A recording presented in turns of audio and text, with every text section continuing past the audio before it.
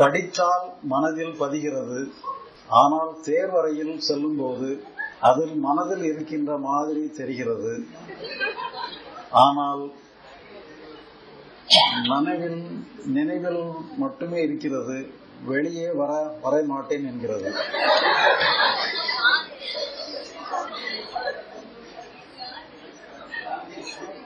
அதாவது இப்ப இதையுமே கூட நீங்க வந்து ஒரு பிரச்சனையை எடுக்க வேண்டாம். இப்ப இது ஒரு மனோரீதியான ஒரு பிரச்சனை. இந்த பிரச்சனையாவே நீங்க எடுக்கலன்னு சொல்லி சொன்னா அந்த பிரச்சனையினுடைய பலம் குறைஞ்சிரும். இது இப்படி இருக்குதா இப்படி இருக்கக்கூடாதுன்னு சொல்லி நினைக்க நினைக்க அந்த மனோரீதியான லாக் இன்னும் கொஞ்சம் இறங்கிக்கிட்டே போகும். நீங்க அதை ஒண்ணுமே பண்ணாம விட்டுட்டீங்கன்னு சொல்லி சொன்னா நீங்க அதை கவ- அதை கவனிக்க வேண்டியது அவசியமே இல்லை.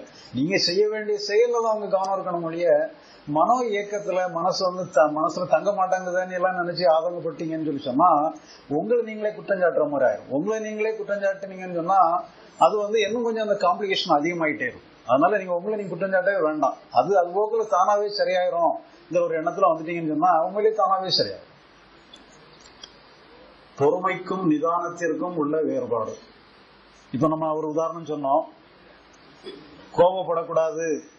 அடுத்தவங்க சண்டை போடக்கூடாதுன்னு சொல்லும்போது இந்த சின்ன பையன் என்ன சொல்லலாம்னு சொன்னா பொறுமையா இருக்கணும். நீ சொல்லி அவனே சொல்றான். பொறுமை ஏன்னா நம்ம சொன்னனால பொறுமையா இருக்க சொல்லுவாங்க போல பொறுமையா இருக்கணும்னு நம்ம சொல்றோம் நம்மகிட்ட இருந்து பொறுமையை எதிர்பார்க்கறாங்க போல நினைச்சு அவன் சொல்றான்.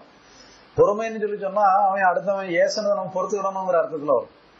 இப்ப நிதானம்னு சொல்லி சொன்னா நம்ம எந்த இடத்துல நம்ம வேணும்னா க- எடுத்துக்கலாம் ஹேண்டில் பண்ணிக்கிடலாம் நம்ம கோபத்தை கூட ஹேண்டில் பண்ணிக்கலாம். ஒருத்தன் வந்து அதுக்காக நம்ம வந்து தேவையில்லாம திட்டிக்கிட்டு இருக்கிறாங்க இல்ல ஏதோ ஒன்று பண்ணிட்டு இருக்காங்க தப்பு பண்ணிக்கிட்டு இருக்கிறாங்க.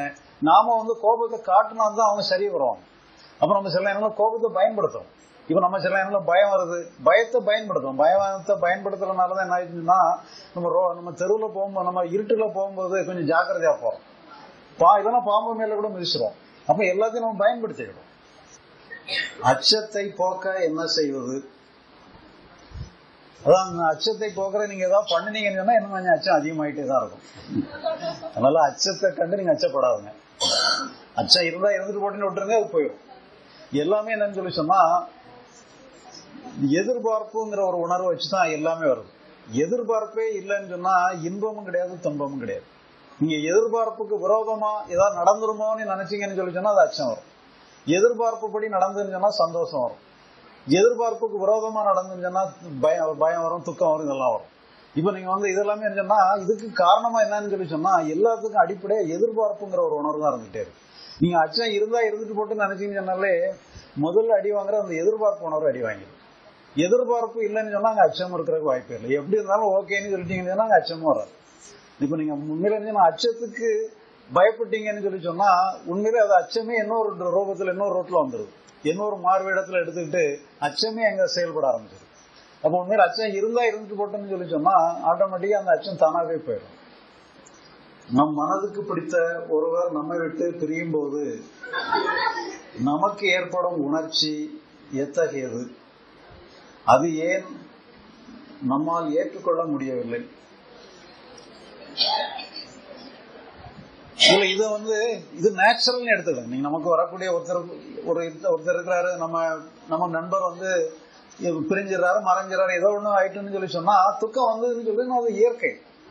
அதை இயற்கையா எடுத்துட்டீங்கன்னு சொல்லி சொன்னா அந்த உணர்ச்சிகள் எந்த உணர்ச்சியா இருந்தாலும் தானே தனித்தானே சரி பண்ணிடும். நம்ம அந்த உணர்ச்சிகளை வந்து இப்படி இருக்கலாம் இருக்கக்கூடாதுன்னு சொல்றதுக்கு நமக்கு ரைட்டே கிடையாது. உணர்ச்சிகளை பொறுத்த அளவுல நம்ம வந்து அதை நம்ம ஜூரிஸ்டிஷன் நினைச்சுக்கிறோம். நம்ம ஜூரிஸ்டிஷன்ல இல்ல. இப்ப நம்ம வந்து நம்ம வீட்டுல இருக்கிறோம். நம்ம வீட்டுல யாராவது ஒருத்தர் நமக்கு தெரியாத ஒருத்தர் நுழைஞ்சு நுழைஞ்சிட்டாருன்னு சொல்லி சொன்னா நமக்கு யாரோ அவர் நீங்க யாரு என்னன்னு சொல்லி விசாரிக்கக்கூடிய உரிமை இருக்கு. அவரை கண்ட்ரோல் பண்ணக்கூடிய ரைட் நமக்கு இருக்கு. நம்ம வீட்டுக்கு நுழையாம பக்கத்து வீட்டுல நுழைஞ்சாருன்னு வச்சுடுங்க அவர் பக்கத்து வீட்டுக்கு வேண்டியவரா இருப்பாரு. நம்ம அவரை போய் நீங்க யாருன்னு கேட்கறதுக்கு எந்த உரிமையே கிடையாது. அப்போ அதே மாதிரி தான் நம்ம உணர்ச்சிகள்ங்கிறது நம்ம ஜூரிஸ்டிஷன்களே வராது. அது எல்லாமே வந்து தானா வந்து தானாவே சரியாயிரும். நமக்கு ஒண்ணுமே பண்ண வேண்டியதில்லை. அது நம்ம ஜூரிஸ்டிஷன்லே இல்லைங்கிறத கண்டுபிடிச்சிட்டா போதும்.